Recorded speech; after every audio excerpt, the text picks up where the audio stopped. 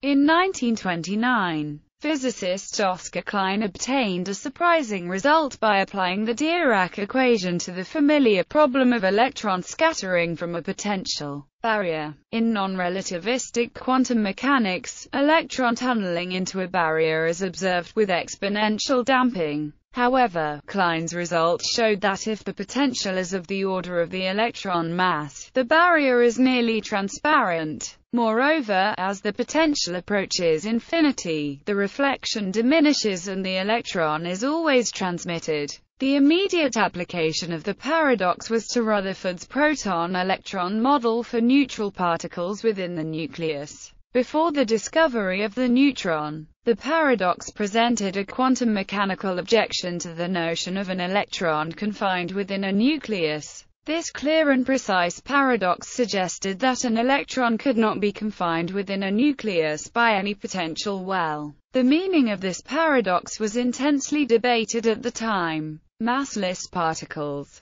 Consider a massless relativistic particle approaching a potential step of height with energy and momentum. The particle's wave function follows the time-independent Dirac equation, and is the Pauli matrix. Assuming the particle is propagating from the left, we obtain two solutions, one before the step, in region and one under the potential, in region, where the coefficients a, a and b are complex numbers. Both the incoming and transmitted wave functions are associated with positive group velocity, whereas the reflected wave function is associated with negative group velocity. We now want to calculate the transmission and reflection coefficients. They are derived from the probability amplitude currents. The definition of the probability current associated with the Dirac equation is, in this case, the transmission and reflection coefficients are continuity of the wave function at yields,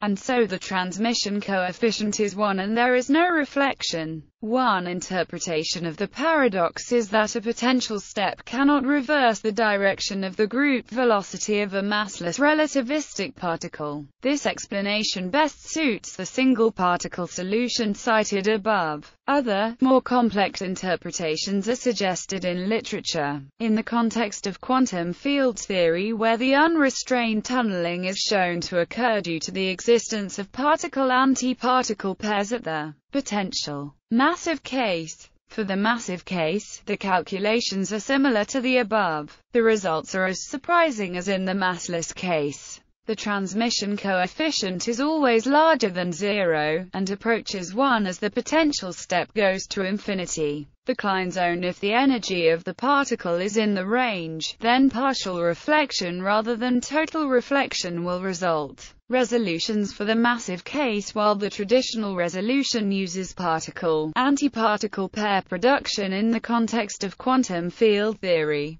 a simpler resolution exists that substitutes physical pair production for the scattering of negative energy solutions under the barrier. This strategy was also applied to obtain analytic solutions to the Dirac equation for an infinite square well. Other cases these results were expanded to higher dimensions, and to other types of potentials, such as a linear step, a square barrier, etc. Many experiments in electron transport in graphene rely on the Klein paradox for massless particles.